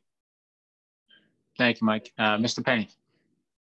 Thanks, Mike. Uh, Liz and the, and the team, thank you very much um, for this presentation and, and the in-depth analysis. I do have a couple questions. So um, it's a wood frame building, and we know that we've had over years water infiltration uh, going through the uh, through the bricks. As part of this, did did did you guys actually go into the walls and the framing to see what the overall framing of the building is and what condition that's in? So we did have a structural engineer, engineer on site and for, so he did poke his head above ceilings and, and so where he could see, he didn't do any demolition. Um, but he does have, in our phase one report, he did look through and to see what the structure was and sort of identify potential areas where there was water infiltration, um, a lot in the basement mostly, and um, Right. so All right, so that's where, you know, as I'm looking at it, we actually got, you know, about fifteen percent of the overall project set aside for contingencies. Um, you know, when I'm looking at, at the two, at the two contingency funds that you've got, you know, and certainly from my side, the, the, the concern is, and I think you said it, when you've got a building that's hundred and whatever it is, fifteen years old, um, wood frame, once you get into it, what are the things that you find? Um, and it's also, you know, we had talked about this earlier. I think we knew that the work that was needed uh, in that building was going to push us over the threshold that that then necessitated a, a complete renovation and, and up to 80, uh, ADA compliance. Um, with the building being that old, do we run into issues with the ADA compliance for doorways? And I mean, are we talking about a lot of reframing and, and uh, reconstructing in there to hit to hit the ADA compliance? Um, I would say that a lot of it would have to do, in terms of doors, it would have to do with your hardware. Um, and there are some doors that I would say visibly I could see that they were smaller, but I would think that a lot of them, they look pretty like they would maintain a three foot door. Um, it's more about getting from floor to floor, getting up those, you know, raised portions, um, having prop- proper signage, stuff like that. But hardware would be a big one for doors because you have a lot of knobs, which aren't really. I, You I know, would jump in and say, just in general, I think in terms of how the cost estimator put the estimate together, um, because it's an old building with a lot of unknowns, because we're going to have to do these upgrades, um, and and I think to some extent because the the the construction cost situation is very volatile right now. Um, I think when I think he erred on the side of being conservative in a lot of cases, and I think as, when you do that in every single case, it tends to drive the, the overall cost up, right? So, um, but I think the number is high enough so that we can see that even if you know 10% high, it's still uh, in terms of the order of magnitude, it's still a lot of money. I mean, I think one thing that the, the town can do is sort of monitor um, construction costs for public projects over the next you know six months or a year and see see how that trends um, but i think Fortunately, we'll be able to do that as we start our school project. um, but i i don't think you know there there's no there's no sort of magic silver bullet to this but there are a lot of small things that you know if everything went right this project would not cost 23 million dollars but i don't think we felt good about coming to you and you know telling you well it's going to be a lot less because it, it could very well you know cost that much to do what, what we're proposing here No, I appreciate it. And then, and then the last part of this, you know, and I think Mike Mullen touched on it, you know, as we, as we're working through our master plan. This is, you know, for a town our size, it's a building with a lot of square footage. You know, so when we look at this and we have these conversations, it becomes even larger. You know, what, what, what is the plan, right? Because, you know, as you went through these three phases, you know, you're looking at really four floors. Um, so there's a lot of square footage. So as a town, you know, what are the needs? You know, we do have um, a, town hall that we're outgrowing and, and at this point is, you know, almost 50 years old. Um, you know, we don't have a lot of community space other than what's in the, in the school systems. So there are some good things to it. But at that point is 20 or 23 million dollars worth the price tag of doing that. Um, so yeah, I, I think we've got a lot of a lot of conversations uh, ahead of us. Thanks, So Rich. Can I, can I just jump in for a second, Mike? Sorry. Yeah, Um, so actually, I, I was gonna say, anybody, uh, anybody else, now that the board's, uh, spoken, uh, Jean, Rich, uh, Alan Cron, if you guys have any comments, uh, feel free to ask. So I just want to say thanks, Studio MLA. They were great to work with. Um, they're very, very creative people. And um, so that was, it was a lot of uh, fun and I learned a lot working with these folks. But I just want to say when the Board of Selectmen move forward to make your decision on what to do with the building, you know, I know you'll consider the programming, um, both ourselves and daycare and, and I'm getting all teary eyed because I'm just really tired of talking about the building, but um, and it's it's it's all very very important. I think. um, sorry guys, it's been a very long day. Between COVID and our sprinkler issues, um, both ourselves and the daycare are are um, feeling like this is our home. I, I want you to consider the cost of relocating us, the cost um, of these programs and, and the possibility of even losing these programs. I think like Rich said, we don't have a lot of square footage in this town. Um, with moving out of um, the building and having the sprinkler system put in last year, um, it was great that it was during the summer, but if it was during the winter, um, we utilized almost three floors of that building. So um, I think you just need to take into consideration that square footage and and what and and where we could possibly go. Um, I know I've spent and had lots of conversations with folks on where we would go, what we would do, um, and and honestly, I just kind of put that to bed because I really don't know. Um, I think we need to wait until the schools are built and and that project is done. So, with that being said, I just want you to consider all of that when you make your decision. Mike, if I could jump in for a moment. Absolutely, Jen. I just, I also want to thank Studio MLA. Uh, Mike and Liz and the whole team were fantastic to work with. So that we really appreciated that on the staff side. Um, but I also, this is just food for thought because it's been mentioned a few times. Obviously, a $23 million price tag is scary on, on a good day, um, let alone in current times. But when we had mass development look at Union Street and, and develop an action strategy for revitalization of the area, the McKinley School was identified as a key infrastructure as well as um, an opportunity for redevelopment. And that's a large part of the conversation for the board um, moving forward around what that redevelopment of McKinley looks like. Um, should the town wish to keep to maintain the, the building and keep it, um, you know, one of the strengths that was identified in the report was that in fact 10% of Rockland's population utilize the building for, for, for very fundamental and important um, public programs. Um, and that, you know, it just, it is, it could serve as an anchor to redevelopment of Union Street. And so those are just things to, you know, think about as the discussion moves forward on the town side for the building. Um, again, $23 million is a hefty price tag. There are other projects needed in town um, and going on currently in town. Uh, but it, it is, it is, I think, seen and functions right now as a key, um, as an anchor property. So just a, f- just a few things to think about as we move forward. Thank you, Jen. Uh, anybody else? Richard Furlong?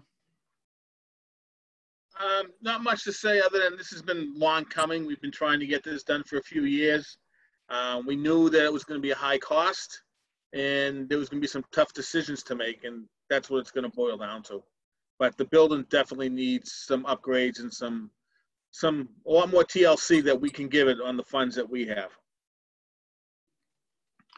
Thank you, Rich. Uh, to my point, uh, Rich and Jean, you guys have been doing a great job maintaining that building. I know you guys spent countless hours up there. Uh, Jean, I, I know you referenced a couple years ago. I'm sure it's still going on, but responding, you know, in the middle of the night uh, to take care of issues and stuff up there. So, you know, any decisions that we make, you know, will, won't be made in haste.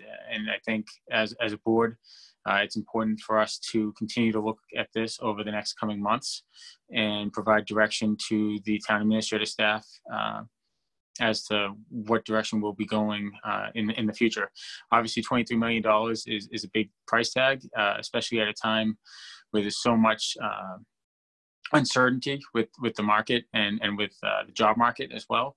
But uh, but you know, it, was a, it was a thorough presentation. Uh, you know, I, I, thought you know Studio MLA. Uh, I, I, thought you guys did an excellent job with the presentation, and it's given us a lot to ponder over the next several months. And uh, and I'm sure we'll have more discussions. So so Doug, obviously, you know, jot this down as as uh, as something to bring up on future agendas, please. Will do. And, and again, I just I want to thank the firm and and as I noted earlier, you know, one of the one of the best sort of references an architecture firm can get out of a feasibility study is a commitment that if we do at some point move forward with a project, we want to continue working with them. So I just wanted to say that publicly. Excellent. Thanks, Doug. So if there's uh, no further questions or comments, uh, we can move on. Okay, not seeing any. Uh, moving on. Uh, next on the agenda, other old business not reasonably anticipated. Doug? I don't have any. Okay. Uh, number seven, town administrator's report and correspondence. Mr. Lapp. Oh, you know what? Um, I think we skipped over the town meeting recap, if I can do that. Oh, did I? Okay, I'm sorry. Old business, uh, Sure. town meeting recap. Yep. Yep, and I, and um, I'm sorry, yeah, Mike, did you want to say something before you left? I just wanted to thank, you know, you and the town for, for all of, you know, all of the participation and, and you guys have been really great, great partners in this. And I think we will sign off if you don't need us for the rest of the agenda. You're all set. Thank you very much. Okay, great. Bye. Thanks, everybody. Thanks. Um, yeah, so town meeting, and I know we were, we were all there, but I just, you know, wanted to make a couple of brief comments. Uh, want to thank WRPS, you know, Dave Cable Murphy and Chris, uh, and, and, uh, you know, they did a tremendous job in wiring up a cafeteria and the gym, you know, those overflow spaces. That was all very complicated. And fortunately, we- fortunately, we didn't need to use those spaces. Um, I also want to thank all the, all the town employees and others that volunteered as ushers. I know uh, Jean Blaney, who was on earlier, she was one of them, and probably others on this call as well. Um, but that was really key because not only did that help us, you know, make sure people were socially distanced, but it enabled us to seat households for people that came together from the same household to sit together, which freed up more space for others so we could accommodate everybody in the main room. Um, the fire department, you know, the health agent, Deli, the whole town clerk's office, everybody did a fantastic job. Most importantly, the voters that showed up. I, I was really pleasantly surprised that every single voter was wearing a mask, which is just tremendous. Um, you know, we weren't sure uh, how difficult it was going to be if people weren't compliant, but everybody was tremendously cooperative. And, uh, and obviously the meeting went by very efficiently and, and everything passed. So I want to thank voters for taking the time to come out uh, in these during this difficult time. My two big, uh, the two biggest I think takeaway homework assignments that I have following up from town meeting is to send all the proposed charter amendments up to the state legislature. Uh, I think the way we crafted this was having each one as a separate article um, so that uh, in the event that the state legislature wanted to enact some but not others, they could choose that. Hopefully they'll pass all of them, but I'll send up all of those, all five of those separately uh, to both Senator Keenan and Rep DeCoste and, and have them file those bills. Uh, and then secondly, as we just talked about with the McKinley School, we're going to get right on issuing uh, invitations for bid to get that third floor done and have the building fully sprinkled. And either way, if we stay in the building, we're going to be in a safer building and we'll have that done. And if we decide, you know, at some point to divest ourselves of it, the building will have more value being fully sprinkled. So it's a good investment for the town uh, either way. But again, that, that was my only real recap from town meeting. I just wanted to thank everybody for their efforts. And uh, I was really very impressed for the moderator all the way down to all the voters. Awesome. Thanks, Doug. Uh, okay, next on the agenda, other old business not reasonably anticipated. Nothing. Okay. Number seven, town administrators report and correspondence. Thank you. So I do have a number of items to talk about tonight. Uh, Just first, very generally, I know you've all heard about the governor's uh, phase three reopening. Uh, I've been on a couple of calls, hearing a little bit more details about it. Some of the big highlights include, you know, with, with real restrictions, uh, a limited reopening of movie theaters and outdoor performance venues, some museums and cultural historical sites, fitness centers and health clubs, and certain indoor recreational activities. And they caveat it with low potential for contact. and then professional sports teams. So yeah, we're going to get to see some Red Sox games under uh, with an empty stadium, which I think we're all happy about. Uh, the the call I was on earlier today with the lieutenant governor and officials from all over the state, they really talked about how this phase three that we're in now, we're going to be in this phase for a long time. You know, things have been changing very quickly over these last few weeks and months. But the, this phase that we're in now, there, there may be a few steps, uh, you know, is how the governor's office calls it. So maybe some minor tweaks within it. But they basically said until there's real therapeutic options or, or an actual vaccine, this, you know, this phase is essentially where we're going to be um, for quite a while. Um, I also wanted to recognize, uh, I, I, sent to all of you a copy of our COVID-19 operation and facilities protocol. So um, Jen really took the lead on putting this together, which I'm very appreciative of. We made sure to get this out uh, to all our staff in our town buildings. And it was especially important to get it out right now, and we did because we had all of our town hall employees that were furloughed coming off of furlough uh, today. Um, some of the library employees are, are coming off of furlough as well to help set up a curbside pickup.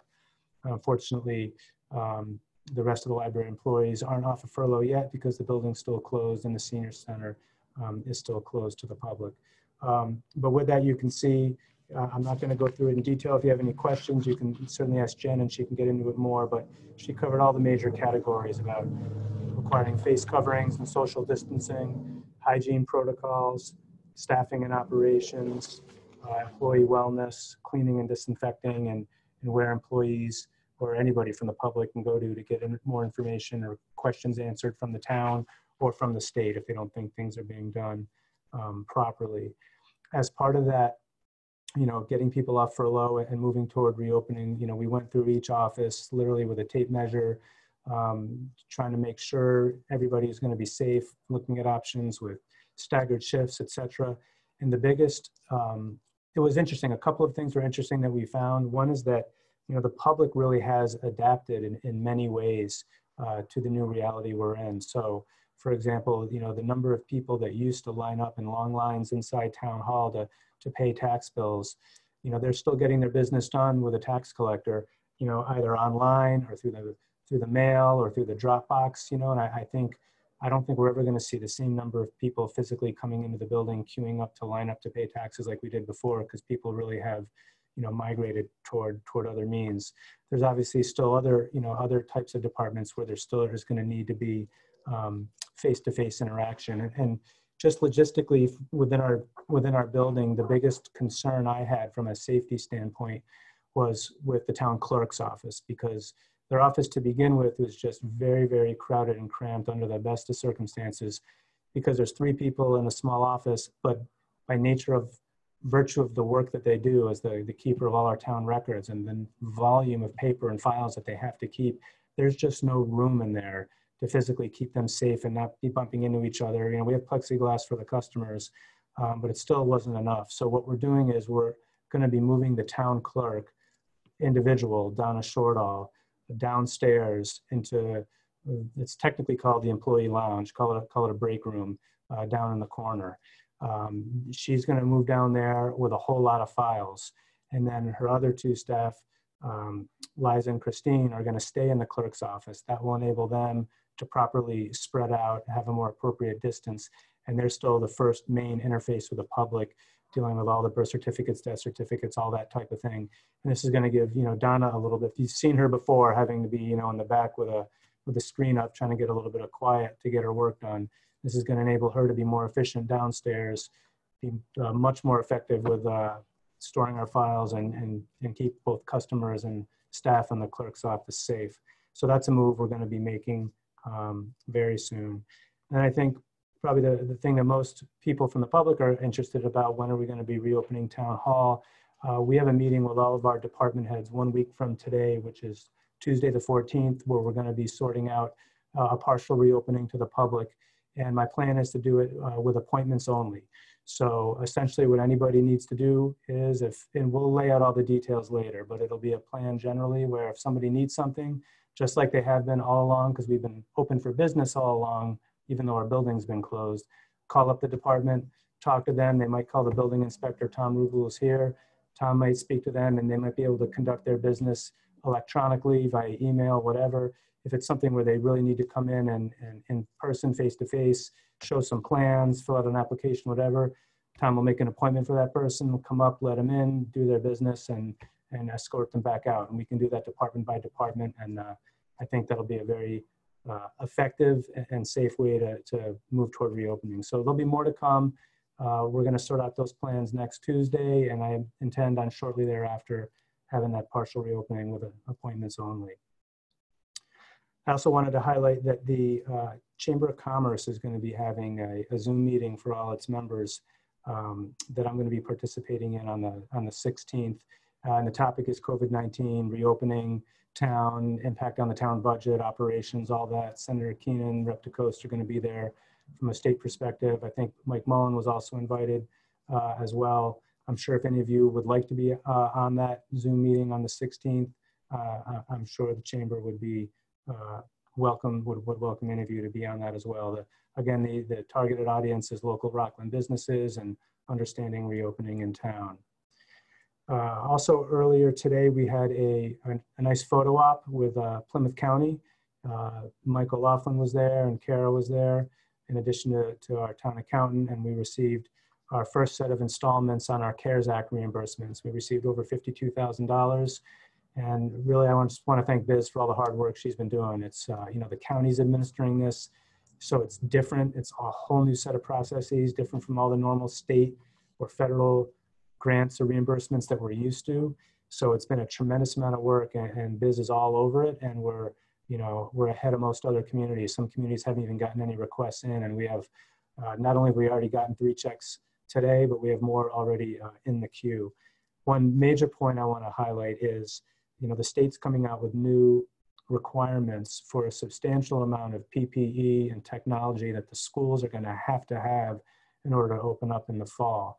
So for the rest of the state, not Plymouth County, where Plymouth County is implementing the CARES Act reimbursement, and not Boston, because Boston's doing it, but for the whole rest of the state, where the state's doing it, the state is funding those PPE and technology mandates through their CARES Act reimbursement. So this is all new. So we spoke, you know, Mike and Karen and I and Biz spoke to the county about that today, saying, you know, they're, they're setting a whole bunch of their CARES Act money aside you know, for like a future phase. And so we're urging them right now, unlock some of those future phases immediately because our school department is going to need significant resources to ramp up to be able to open up in the fall. So we'll be working on that more. And, you know, Biz and I have a meeting with Dr. Cron and Jane tomorrow morning to talk about that further. That's all on the, on the COVID aspect of things.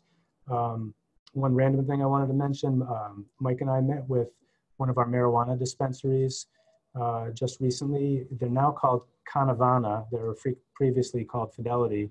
They're over on uh, Weymouth Street. So they're going to be opening in early August. So this will be the first uh, marijuana dispensary. Both they're both medical and recreational. Uh, they're going to open in early August. They're right now in, in detailed discussions with our police department to make sure they have a very effective traffic plan that's going to be in place so there won't be any negative traffic impacts on abutters. But the, the host community agreement that the town negotiated prior to my coming on board was a really strong one in favor of the town. So it, it, we are guaranteed revenue sharing, uh, a minimum of $100,000 a year up to a maximum of $500,000 a year for five years. So there's a good amount of revenue that's going to start coming into the town. And I believe the first installment of that is going to be a $25,000 check on the first day that they're open for sales. Uh, so that's good news. Here, there's another one over on Commerce Road that's going to be um, next in line. I think they're still waiting their, their final approvals from the from the state. But I, I was very impressed with Cannavana. You know, they uh, I was there before they did any construction, and I was there after, and they blew me away. The security, their protocols, they are, I think, um, a very impressive organization. And Mike, I saw you turned your mic off. I didn't know if you wanted to add something to that. Well, no, I wasn't sure if you're going to go to me, but no, I, I Doug, I couldn't agree more. I I had never been to a uh, marijuana dispensary, and uh, it, it, was really, really eye-opening. I was very impressed with the security measures that that Mario has in place. Uh, you know, just just the, the building itself, it, it, was, it was impeccable. Uh, obviously, it hasn't been open and to the general public, but you know, every everything that he's implemented from you know his own security for for you know his product, but also uh, for the safety of the general public during you know these COVID times uh, was really really impressive. And you know he's a uh, he's an impressive individual, and I think he's somebody that I'm, I'm happy to have uh, as a businessman in the town of Rockland. So, agreed. Um, and then the last two things, uh, the first is I just want to talk a little bit about the FEMA uh, flood maps that we had the zoning bylaw to adopt the new FEMA maps. And then at the last minute, FEMA told all the communities to abandon them. So we passed those over at town meeting. I was on a conference call with a number of other towns uh, and officials from the state and FEMA yesterday. And it was, it was very interesting. Um, I think they were a little, you know, defensive about some of the criticism they got for pulling back. Uh, but the long and the short of it was uh, they said there's not an issue with their maps and that the maps are not going to change.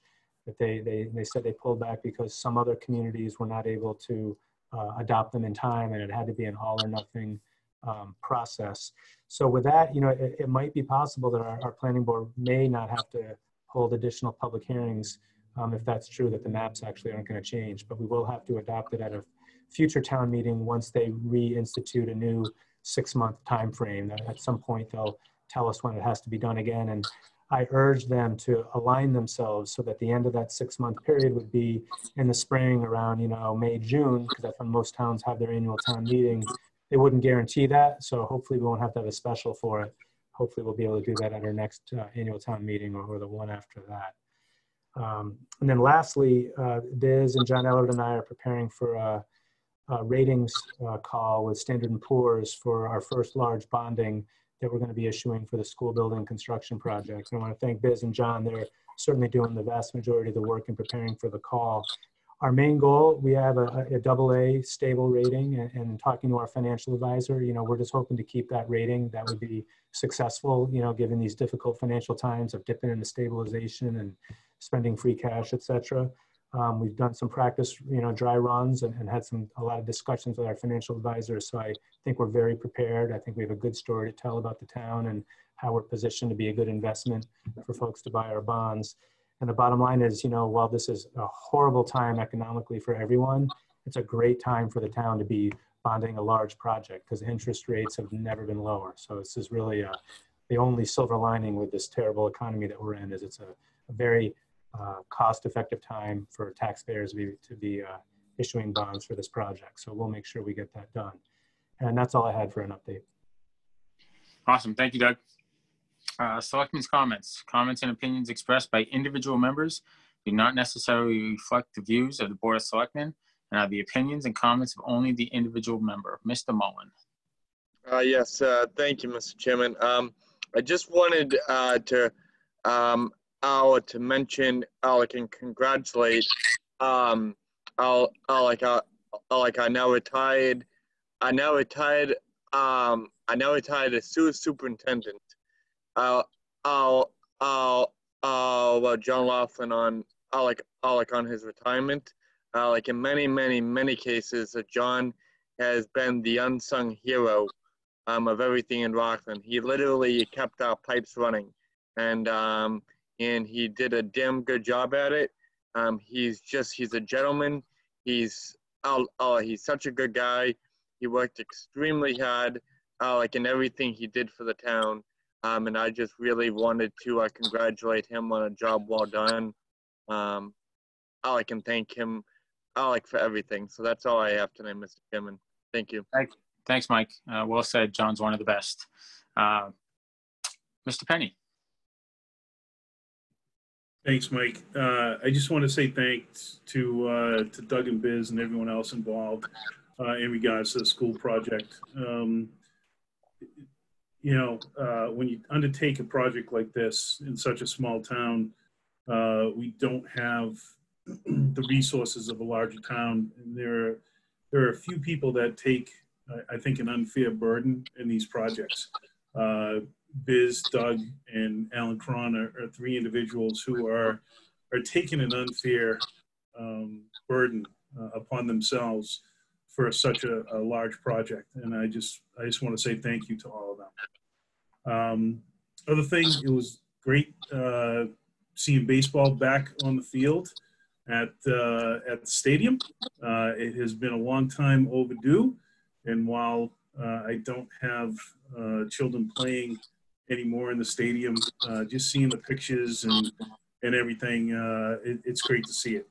Um, With that, um, just want to say it to everybody, stay safe, um, be smart, and um, support the local businesses as we begin to open up.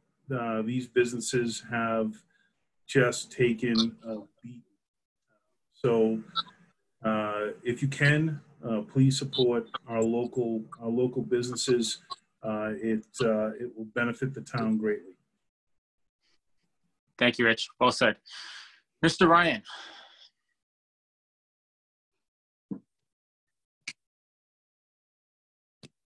Larry? Larry, you're on mute.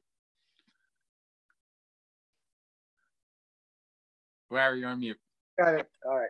I want to thank John Laughlin for the work he's done for the town of Rockland. Uh, John and I go way back to the glory days of uh, softball in Rockland back in the 70s uh, when we all played together and it was a big deal.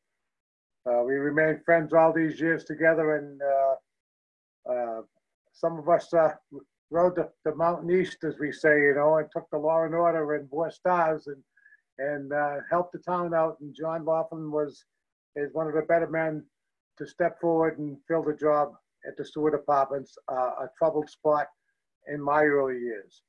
Um, I can't thank him enough. And uh, thank you to David Taylor for stepping up and being the interim sewer commissioner while John has to take his retirement and the sewer commissioners look for a permanent replacement. Uh, we got a good team down there uh, doing good things. Um, they're being watched heavily by all our commissioners, and that's a good thing too. But I want to thank them all. Uh, above and beyond uh, our, our, financial team, thank you. Thank you. And I want to thank the town of Rockland for allowing me to serve as chairman and vice chairman over the years. I, I don't really expect to ever go back to being chairman or vice chairman, and only because uh, we have the board we have now that uh, is going to be taken over, and the old fuddy duddies like me will be uh, passing by the wayside in, in our day. So I just want to thank the town for all the things that uh, they've allowed me to do for them, and uh, I expect to work hard for the next couple of years and and uh, go out with a, uh, a a bang, if you will. That's it. All right, thank you, Larry. Just remember, you know, you still got another couple of years, so this is oh, no swan song for for Larry Ryan here. Hey, I'll be up before him. I know. Thank God. Oh yeah. Oh no, no. I'm a, I'm a full part of the boat, but I'm just not going to be in a leadership role as uh, as more of an advisor role, if you will, because uh, the selectmen that are my juniors, which is all he is, uh, are really getting your stuff together and doing a fine job town. Uh, we got all thought everything that could, can be covered and needs to be covered covered, and uh, we all uh, uh, helping our town administration to do the best job that they can for the town of Rockland, and we are doing that good job, and we will continue to do it. And uh, town of Rockland, have no fear. The good people are here. Thank you. Thanks, Larry. Okay, for the first time, uh, Vice Chairman Nyman. Thank you, Mr. Chairman. I also want to thank John Laughlin for his years of service to the town of Rockland. Um, he's been a personal friend and someone I've been proud to work with um, over the past few years. I also want to thank my colleagues on the board for appointing me as vice chairman tonight. Um, it is an honor, and I have some big shoes to fill from Larry, and I'm sure I'll be leaning on him for some great advice as always. So thank you all. Thanks, Kara.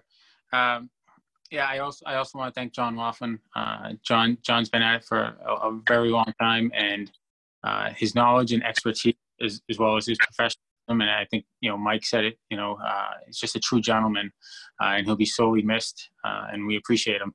Uh, I also want to congratulate Rich Furlong on his retirement. 36 years on the fire department. you know, just just another great, classy individual in the town of Rockland fortunately, he's still active in all sorts of things, including this meeting tonight and the uh, the McKinley School building um, and the park department. So, you know, Richie's not going anywhere, but you know, congratulations on making it through 36 years uh, on the fire department. Uh, with that being said, as well, uh, the Plymouth County Commissioners uh, that came down today, along with Treasurer O'Brien.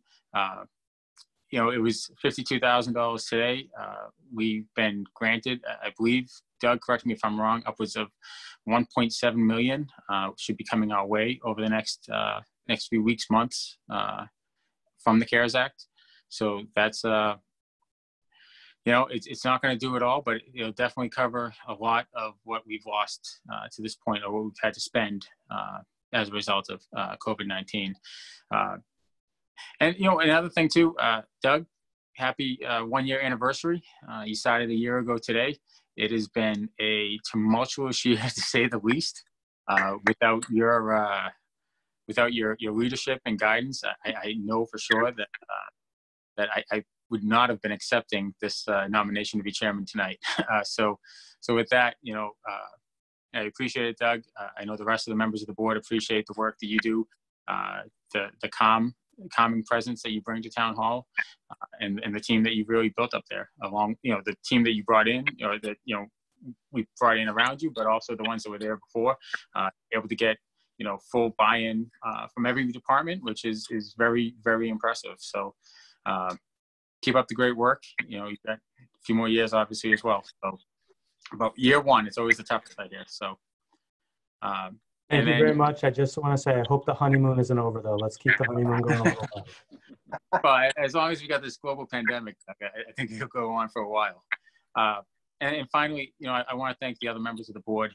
Uh, I said last year, I, I think it's actually uh, on this date or, or you know, a couple days ago, a year ago, that uh, you guys made me uh, the chairman, and, and at that time, you know, to Rich's point, you know, he made the, the campaign promise that you know, or suggested that a chairman not be for more than a year at a time, and, and I firmly believe that it was something that I think Mike uh, and Larry and I had talked about when we were you know, the three-member board.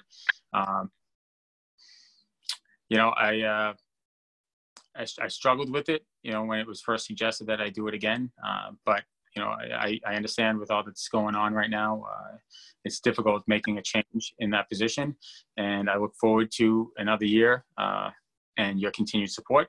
And with that, I'll entertain a motion to adjourn the meeting. Motion. Second. Not everybody at once. So, okay. I got a motion and a second. Uh, roll call vote. Mr. Mullen. Yes. Mr. Penny. Yes. Mr. Ryan. Yes, and thank you all. And Ms. Nyman. Yes. And myself, meeting is adjourned. Stay safe, Rockland. Good night. Nice to see you all.